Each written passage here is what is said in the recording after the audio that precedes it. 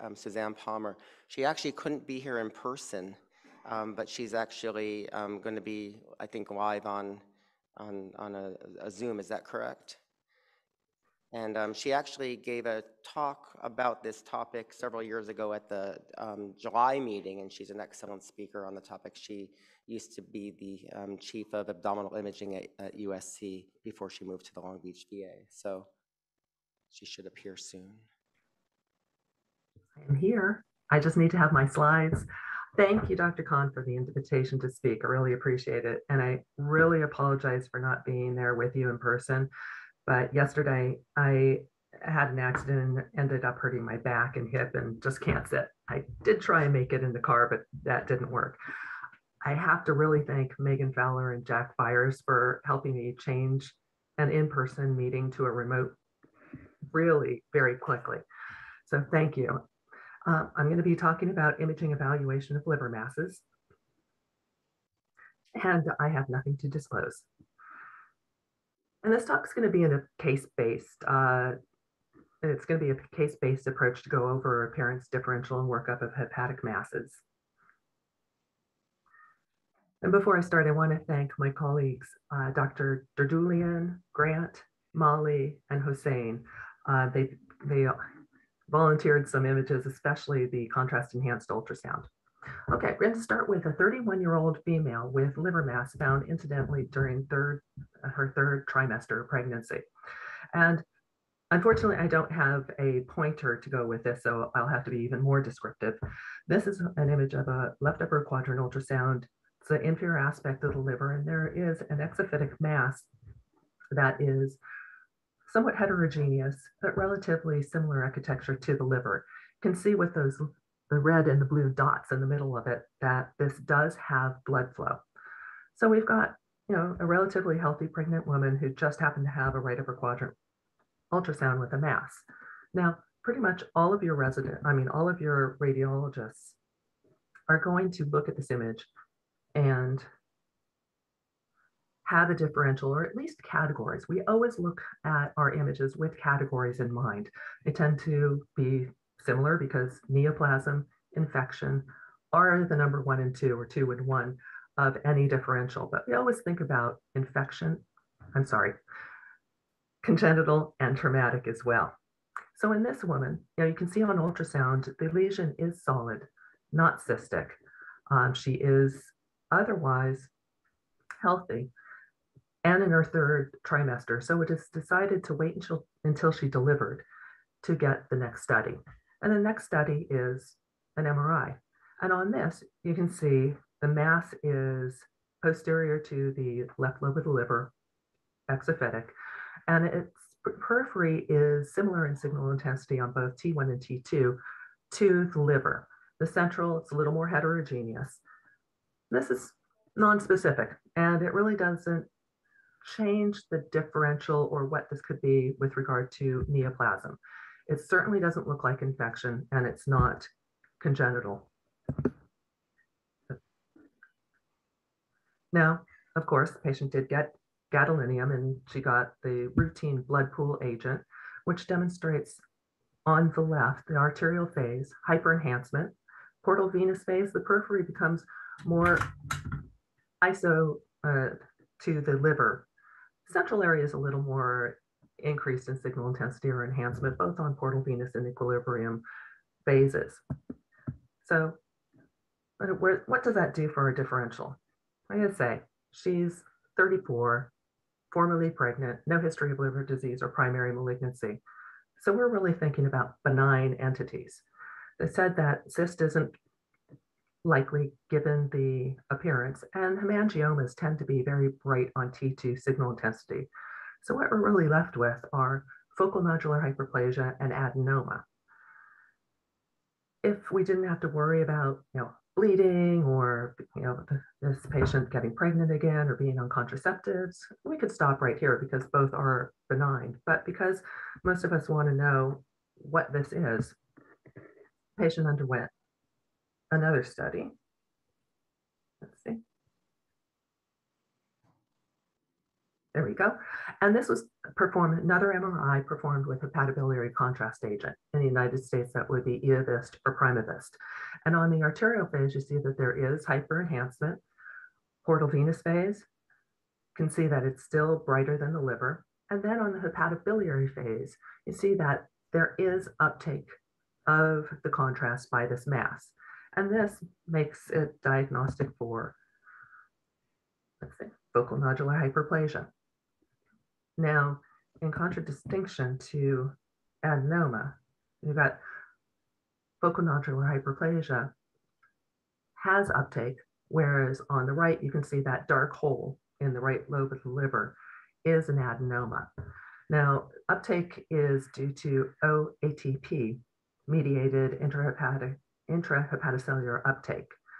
That's why the liver is very bright. That's why FNHs are bright. Adenomas do not have any or as much of this, so they do not have as much uptake. But I also want you to look at these other images or these images for the other organs. I want to look at the bile ducts. Um, if you, on the right, there's just that dot in the head of the pancreatic head that's bright. That's going to be the common bile duct. In the, that was the left image, sorry. On the right image, you can see there's a larger blob of brightness. That's going to be a portion of the gallbladder. And then that more um, ellipsoid is the common duct. Now also look at the blood vessels. The blood vessels are not enhancing because the contrast has cleared from the blood pool. Remember the hepatobiliary phase, at least when we get it on MRI, is at approximately 20 minutes post-injection. Here's another woman with the same, same issue, but this is CT. And you can see that there's increased enhancement on arterial phase. And then on the portal venous phase, it's similar, similar to intensity or excuse me, density as the liver. So we still have the same differential FNH versus adenoma. However, in this case, couldn't she, this, she already had CT, MR wasn't available. So the patient underwent contrast enhanced ultrasound. And as you can see, there is this, this is just early arterial phase, and it is greatly enhancing and then becomes hypointense, or at least, excuse me, ISO to the remainder of the liver. If you look at the image on the right, it, this has a stellate appearance. This is within the first fraction of the section, second of the contrast injection. This stellate appearance with centripetal filling is diagnostic for focal nodular hyperplasia. And just because we like to get everything, patient also had an MRI, which shows the lesion just anterior to the portal vein in the medial segment of the left hepatic lobe. It has uptake of the of Eovist, and therefore that confirms that this is focal nodular hyperplasia.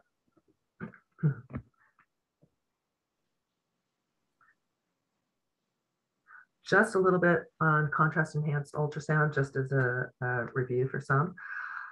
Contrast enhanced ultrasound consists of microscopic bubbles of gas in an encapsulated lipid or protein shell. These are blood pool agents, or at least the, the ones that are currently FDA approved now are blood pool agents, and they stay in the intravascular space. Part of this is because they are the same or similar size to RBCs, which allows them to avoid filtration in the heart and lungs and avoids leakage, leakage into the interstitium.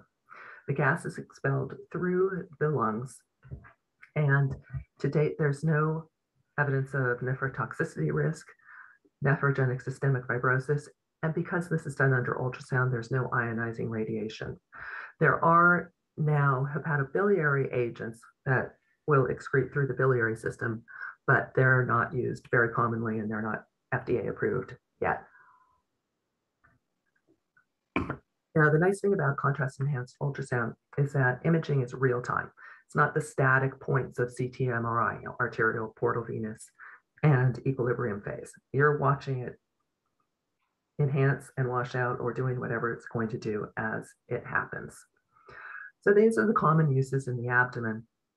Liver tumors, portal vein um, occlusion, and also renal evaluation of the renal masses is another big category. But essentially, we use this all over the body.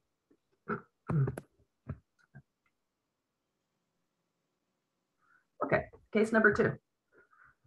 We've got a 52 year old male with right upper quadrant pain and an indeterminate mass found on ultrasound. So the patient underwent a multi-phase CT, and on the left pre-contrast, you can see that there is a lesion that is hypodense to liver on non-con.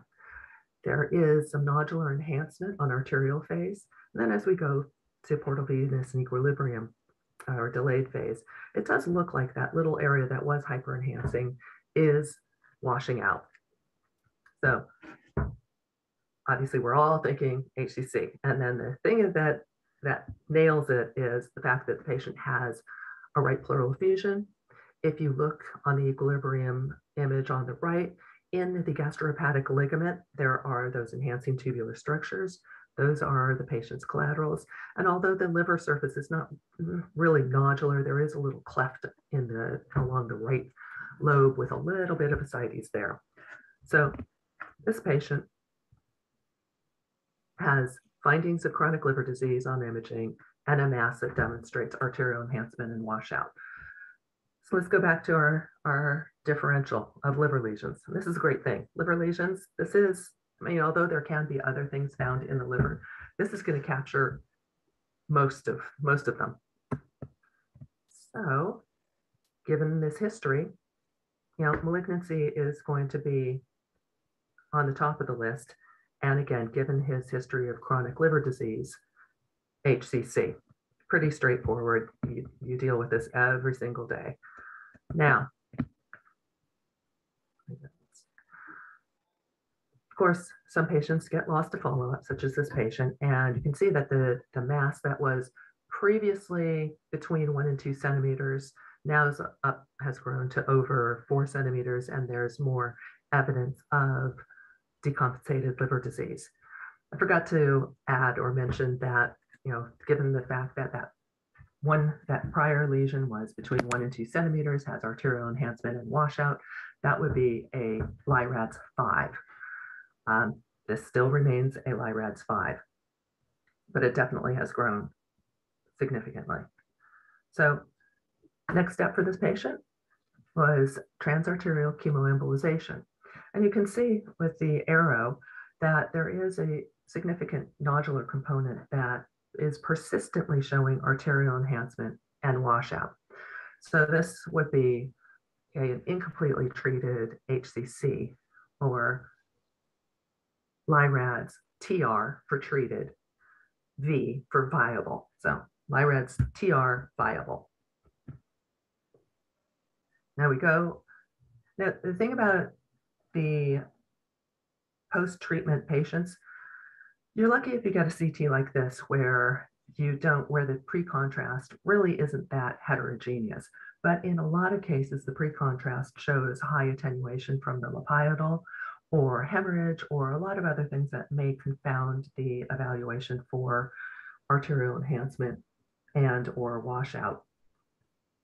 So there are some tricks, not tricks, there are certain things that you can do or focus on when you have somebody who's post local regional therapy.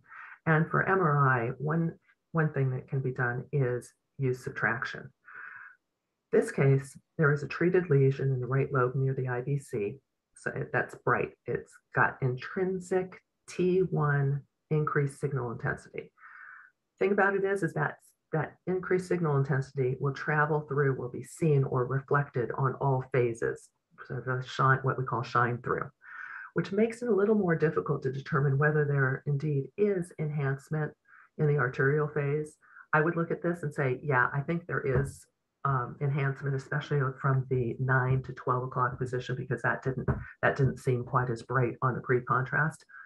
Um, and then we go to the, to the washout and, or the equilibrium phase. And is that uh, tissue or nodularity from the 12 to 5 o'clock position shine through or is it washout?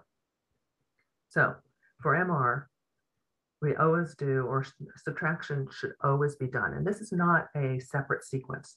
This is subtracting the pre-contrast from the post-contrast leaving you just with what enhances. So in this case, you can see that same lesion has nodular you know, areas of peripheral enhancement from the seven o'clock position to the five o'clock position. So that confirms that this is viable. So TR, um, LIRAD's TR viable. Other things with MR that, that are helpful or might be helpful. Um, another thing is diffusion weighted imaging. Not infrequently do we have images like on, or patients like on the left. This is arterial phase. and it shows that there are two bright lesions up in the dome. One's a little larger, lateral one, one's a little smaller medially. But on all other phases, it's iso-intense to the remainder of the liver. And on pre-contrast T1 and T2, you really don't see them. So you can use diffusion weighted imaging. It's not, it, it's, it's not a perfect tool. However, if you see increased signal intensity, excuse me, um, like on the right image, again, this is where a pointer might help a little bit, but the larger, the larger lesion shows um, increased signal. That's diffusion restriction, and that corresponds to this being a poorly differentiated HCC. now, dysplastic nodules don't typically have diffusion restriction. The one confounding feature is that early and well differentiated HCC may not have increased diffusion restriction and may be indistinguishable from adjacent liver. So for diffusion, if there is diffusion restriction, that helps you and it supports a, a diagnosis of a HCC.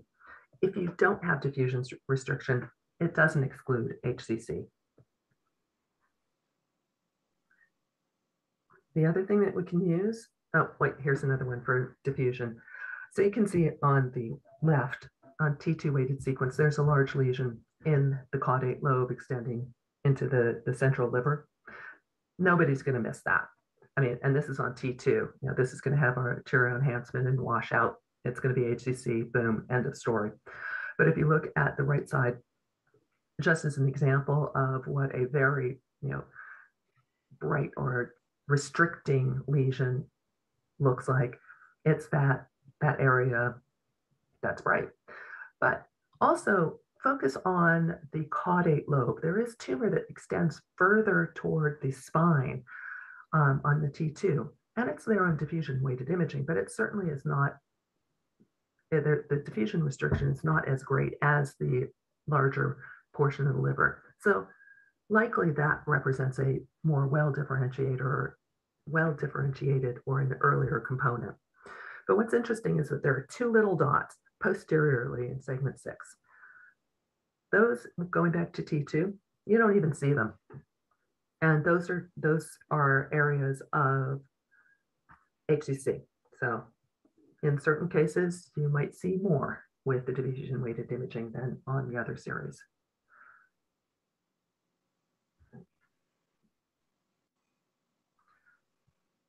Can also use hepatobiliary agents, including Eovist or Primovist. And in this case, and it's the same case, you can see that the area that showed diffusion restriction, the area that was increased in T2 signal intensity, shows absent uptake of, of the contrast agent. And so do those two little dots in segment six. Thing about Eovist and Primovist, the hepatobiliary agents, they are non-specific. If a lesion has uptake, like the liver, it could be both benign and malignant. Mm-hmm. Remember the focal nodular hyperplasia that I showed earlier, dysplastic nodules. But unfortunately, up to 12% of HCCs uh, won't have or will have eovist uptake. If the lesion doesn't have uptake, like in this case, it's you know, the differential still is both contains both benign and malignant entities. Again, in a patient with chronic liver disease, this is going to be HCC. Um, but hemangiomas, some dysplastic nodules, and confluent fibrosis can also have absent uptake. So again, it's non-specific. It's not. It's non-specific. Okay, so contrast So uh, can somebody click on this where it says inject one on the image? Oh no. Okay, well, this one's not going to work. Hopefully my other, well, work. the others did work. So it's, it's lucky that at least we've got some of the contrast enhanced ultrasounds working. Anyway, contrast enhanced ultrasound, you know, we're looking at this for the same thing, arterial enhancement and washout. Um, enhancement actually seems a little earlier uh, when you're watching contrast enhanced ultrasound. Sometimes just looks immediate, but it's typically between 10 and 40 seconds after injection of the contrast, obviously due to neovascularity and angiogenesis from the tumor. Well-differentiated HCCs tend to show later washout or no washout, which sort of goes along with the what I was talking about with the diffusion and Eovist um, findings. It can look more normal or less typical for HCC. However, poorly differentiated HCC tends to show more rapid washout, and peripheral and rim enhancement is not commonly seen. Here are, here are some static images showing from right top to left lower arterial enhancement, bright arterial enhancement, then the lesion becomes more difficult to see in the left lower corner because it's it's iso to the remainder of the liver. And on delay, it is subtle, or it may look a little subtle, but it is washing out. Now, when do we use contrast enhanced ultrasound? Well, not everybody does it. So um, that's one that's one factor. But if you're in a center that does contrast enhanced ultrasound, really it can be used for almost anything, but it's typically when a, con a contrast study is needed. And for whatever reason, CT and MRI are contraindicated or unavailable.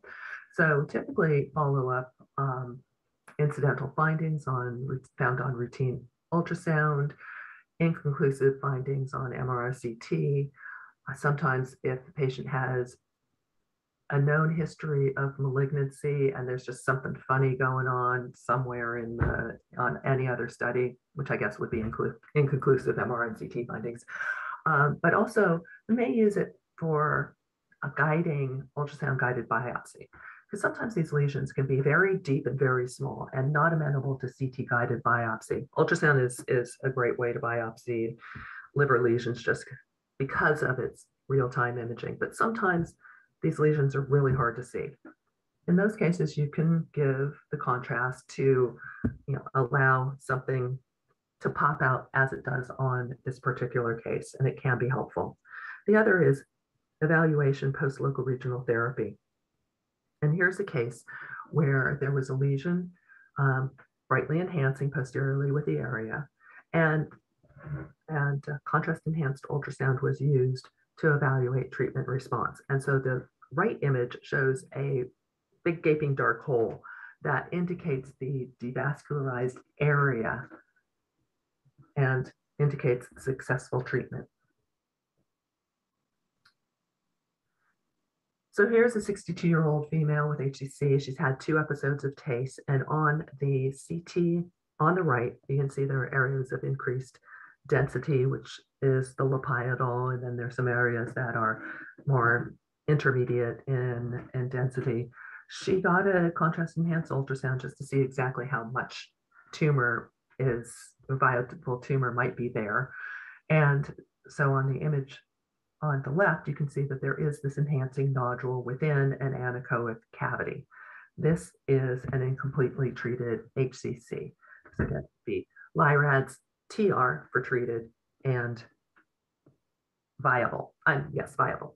She underwent a third episode of TACE, and this is what she looked like afterwards. And there is that little nodule posteriorly. It's hard really to tell. It was hard to tell whether that was a real finding or just some normal liver going protruding into that area. In this case, it, this would be more equivocal. This would be LIRADS TR equivocal because there, there is something that we definitely need to follow up on. Will it require immediate uh, retasting?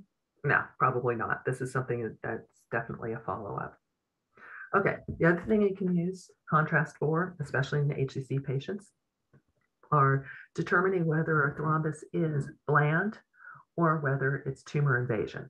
So on this video clip, you can see that the left, or at least the anterior segment of the right portal vein demonstrates enhancement during contrast administration.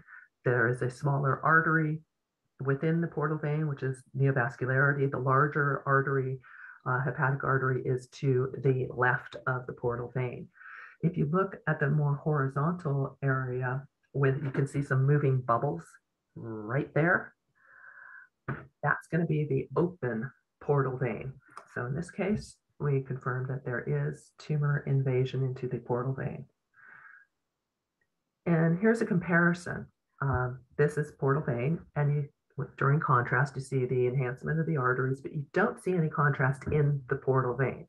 There should be contrast in the portal vein if it's patent. There should be enhancement if it's tumor thrombus or tumor invasion. In this case, that's bland thrombus. Okay, case number three. A 58-year-old female with new diagnosis of colon cancer and staging CT found an indeterminate lesion. It was hypoenhancing. And so because of the history, patient went to, to MRI. Here we have a lesion, the arrow, that is relatively bright, pretty bright um, on T2 weighted imaging. It's well circumscribed, lobulated, decreased in signal intensity on T1 weighted imaging.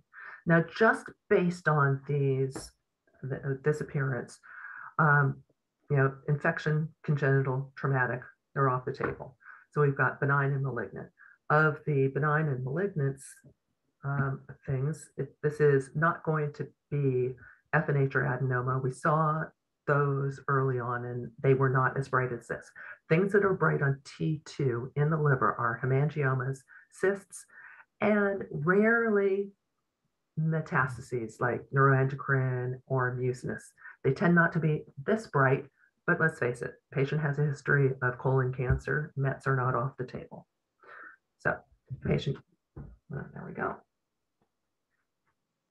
So patient has a contrast portion of the MR. And what this shows is not a whole lot going on on the arterial phase. Portal venous phase, the one in the middle, has a little bit of nodularity in the periphery. And then on delayed phase, that nodularity coalesces and becomes more apparent. This is diagnostic of hemangioma. This is not going to be a MET, so we don't have to worry about this lesion. Uh, now, I've got some other examples of hemangiomas. So here we have a small one, a, a patient or an MR arterial phase and portal venous phase. The area, the arrow is showing a very small hyperenhancing lesion centrally. If you look back to the arterial phase to the left, there you see a little blush of um, enhancement. The right side case, this is a little more classic where on arterial phase, you see a few little nodules of enhancement, a few more peripheral nodules in portal venous, and then on the equilibrium phase, the one that's all the way to the left, excuse me, all the way to the right, there's almost complete enhancement of the mass. Now, the one other thing that is helpful for hemangiomas is that the enhancing component should follow blood pool. So if you again look at the, the last image on the left, the mass is similar in signal intensity to the adjacent portal veins, IVC, and the aorta. And if you look at all the others, it really does follow blood pool. Now, hemangiomas can be very unusual looking. They may not have a lot of um, enhancement or they may have areas that, where there is no enhancement. But the case on the left shows, again, T2 with very bright, you know, the mass is bright, very bright in T2 signal intensity. This one has degeneration centrally. Um, the case on the right is slowly filling in, except there's that central area of degeneration. But notice, notice that the mass is following signal intensity of blood pool.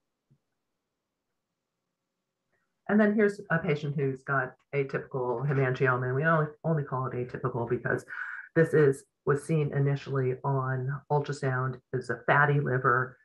And when you have a fatty liver, hemangiomas, well, hemangiomas typically are well circumscribed, echo, hyperechoic with increased through transmission, almost diagnostic. When it comes to hemangioma and liver, fatty liver, all bets are off. The lesion is low and it's it's indeterminate. Um, the images below show the contrast enhanced ultrasound for that particular lesion. Can somebody click the, just right below, well, click the image on the right at the bottom.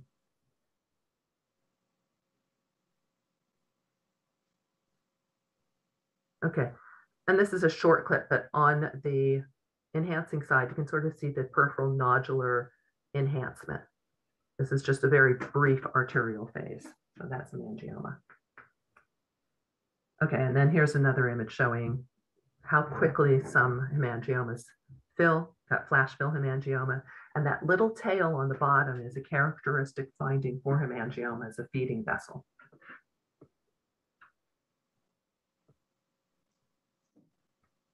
Okay, case number four, 65-year-old male with history of lung cancer and prostate cancer. And this mass was found on a, uh, his lung cancer was distant, prostate cancer was more recent.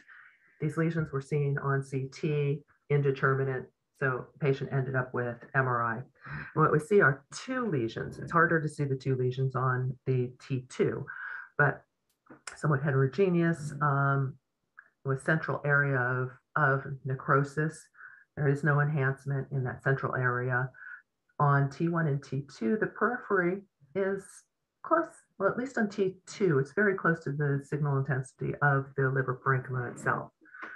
We go to the arterial phase, there's peripheral arterial enhancement, and the one in the left lobe, the other is almost completely hyper enhancing. And then on delayed phase, the peripheral area seems to have a bit of washout. So with this appearance, benign lesions are unlikely. This is not a cyst, not hemangioma, because it's supposed to, hemangiomas are supposed to be very bright on T2 weighted imaging. Focal nodular hyperplasia, no. Adenoma, you know, adenoma I always think a little bit about because adenomas can be some of the ugliest and strangest looking lesions in the liver. But this is unlikely given his age um, and his history. So we're pretty solidly in the malignant category for this patient. Um, infection, congenital, and traumatic, very unlikely. So here we are. Um, as far as what we would look at, HCC, possible, but unlikely. Could it be fibrolamellar? Perhaps, but that would be unlikely. He, looking back, no history of liver disease. Cholangiocarcinoma doesn't really fit that bill. Sarcoma hemangioendothelioma can look very strange. Lymphoma usually does not have necrosis like this. And then we're left with Mets again. Because this the whole these image these findings just really didn't they weren't classic for anything. This patient had to go to biopsy, and these actually ended up being carcinoid Mets. We were initially thinking, oh, lung cancer. Okay, it's going to be a run of the mill lung cancer because that is going to be just a hypoenhancing lesion. It may or may not have necrosis, but usually doesn't. The carcinoid, on the other hand, you know, would fit this. Carcinoids tend to be hyperenhancing on arterial phase and can have washout, and they can be very very large and heterogeneous with necrosis. So sometimes, many times, you have to go to biopsy to find out what is going on. Now, PET CT. Um, this is my one slide. Actually, I have two slides on PET CT. Uh, people always ask about PET CT. And yes, it's good for differentiating some malignant from benign lesions, but more often it's not for diagnosing. It's usually used for tumor staging, detection of recurrence, and monitoring response to treatment.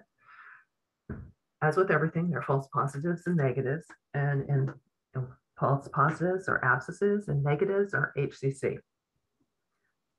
So In this case, on the first image to the left, that is an area of uptake within a pancreatic head mass. And then there's a large area of uptake in the right hepatic lobe. If you look at the CT below, the patient does have um, duct dilatation where they have got the white arrows and then the areas of hypoenhancement posteriorly. This patient happens to not have liver metastases. This patient has um, obstruction and cholangitic abscesses. And so that's why this PET is positive. Now I promised to you know, show something that is coming down the pipe that's being that might be um, helpful or looks like it's going to be helpful for HCC, and that's choline 11 versus FDG PET. Now, what studies are showing is that choline seems to be taken up or is being taken up by moderately well differentiated HCC, which is going to be the image labeled B. Same patient, labeled C, FDG, doesn't show any uptake. The converse is true for poorly differentiated HCC, where the choline is not showing any uptake, but the lesion is taking up FDG. So it looks like choline 11 might be a good answer to how do we find those well differentiated HCCs? More to follow, not in this lecture, later in life. okay, case five. Um, actually, can somebody tell me how much time I have left just because I know we started a little after 1010.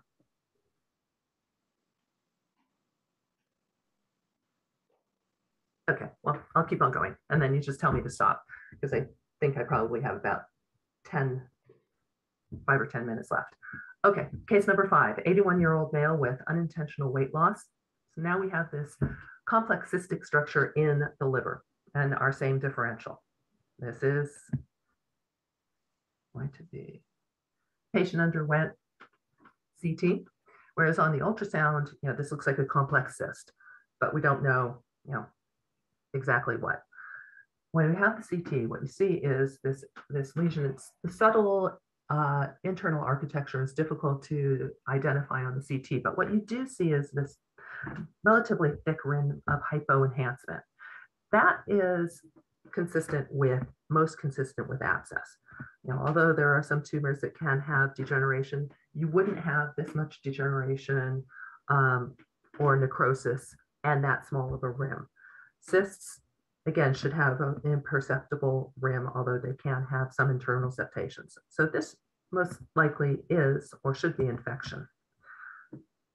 Patient underwent an MRCP because of, of increasing LFTs, and he was found to have multiple gallstones within the common bile duct shown on the left, and then again, this enhancing oh, I'm good till 11. Thank you.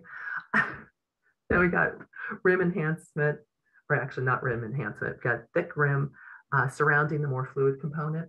This is a cholangitic abscess. I'm going to show some other cystic structures. Here's another cystic structure on ultrasound, definitely has fluid and solid components patient underwent contrast ultrasound, which is on the right, and shows that except for that one septation, the solid components did not show any enhancement. So this is consistent with a hemorrhagic cyst. It could have some proteinaceous debris, but in most cases, this would be a hemorrhagic cyst. MRI is kind of nice for hemorrhagic cysts uh, because of the T1 and T2 weighting. CT, you look at the CT, it kind of looks like the abscess or that was seen on the last study. Um, diffusely decreased in attenuation with some areas, amorphous faint areas of higher attenuation, um, and a rim of uh, a thick rim. Go over to the MRI, however, and you see that it's predominantly fluid, bright on T2, dark on T1. But what is the most important finding is the high T1 signal intensity. So the left, excuse me, the image on the right, the, the bright areas that are in the periphery and in that septation. That is characteristic of blood products, you know, specifically methemoglobin. So when you see that, it's almost always diagnostic of hepatic cyst. Not 100% because as radiologists, we never are 100%, or in medicine, nobody's ever 100%, but that in, in this patient would be consistent with hemorrhagic cyst.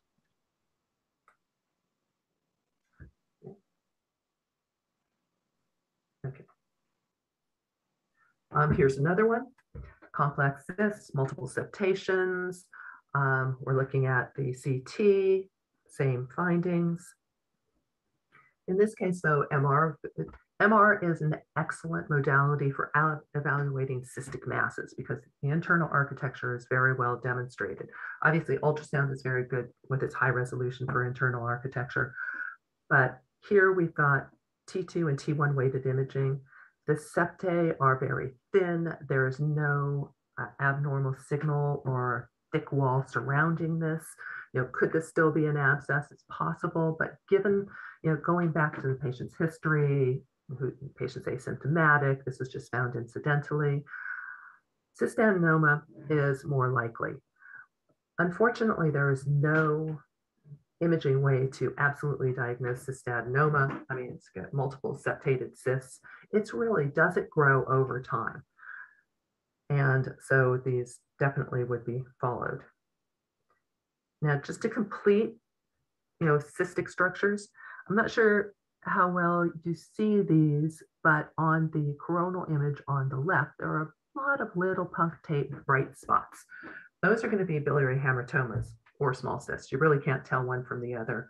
Uh, but if somebody has a, a bunch of these small things, they're mm-hmm. probably going to be biliary hamartomas or von Meyenburg complexes, going to be T2 bright. And because some of them are so, so small, you may not see them unless you give contrast and they will not enhance. Okay, last case. And this is a 31 year old female with right lower quadrant pain for one year. Okay, so got CT going from left upper is non-con, right upper arterial, lower low uh, row is portal venous in equilibrium phase. So there are actually two lesions here. The largest is in the right hepatic lobe. The left is, excuse me, the smaller is in the lateral segment. These are low attenuation on pre-contrast. They kind of enhance somewhat, you know, it, on arterial there may be some peripheral enhancement. The lateral segment one looks like there's a dot in the middle of it, not peripheral. Portal venous, things seem to enhance a little more. Uh, delayed phase, they're hyper enhancing. There's also a little retraction of the capsule. So let's see, do I have my differential here? Here's a coronal. And the coronal actually looks a little more worrisome because it has that, that rim enhancement, um, which makes me sometimes makes me think of, of infection. So in this case, you know, these aren't cysts, you know, hemangioma, certainly not classic hemangioma, FNH, no. Adenoma, as I said, will always stay in the differential just because anything that's weird could possibly be a hemangioma. She's in the right age range. Malignant, you know, she has no history of malignancy, but we certainly can't you know, take that out. Infection, just because of that coronal ring of enhancement, that stays in. Wouldn't be congenital or traumatic. So we've got a much larger differential that we're left with. So she went and got an MRI lesion is increased in T2 signal intensity, decreased in T1 signal intensity. You can see the retraction of the capsule with a little bit of fluid, much better identified on that axial T2 weighted se sequence. Does this help with the differential? Well, I say FNH probably shouldn't be in there, um, but hemangioma, adenoma, cholangiocarcinoma, um, HCC, it's not doing the washout thing. And let's see. And so when it comes to cases where you have such a such a large differential going from benign to malignant, got a biopsy. This patient was biopsied and these were found to be hemangiomas, multiple hemangiomas. Just going back to the T2, you know, so these are brighter than you'd expect for for a lot of tumors on T2, but not quite as bright or typical for hemangioma. Um, but like I say, sometimes you are just left with biopsy. So, oopsie, back. So, in conclusion, imaging can diagnose many liver masses without requiring biopsy, especially cysts. If you see a well circumscribed, non enhancing fluid density, signal intensity, echogenicity uh, structure, diagnose cyst. Hemangiomas, well circumscribed, T2 bright, peripheral nodular enhancement, with centripetal filling. The classic description. Focal nodular hyperplasia. You don't see a lot on pre-contrast, but post-contrast, it will have uptake of biliary phase. And then, as we know, arterial enhancement and washout for HCC. However, there may be a large overlap in imaging appearance for all these lesions. So biopsy may be needed or likely will be needed if the diagnosis will change the patient care. Thank you very much. And I think I will be back for question and answer.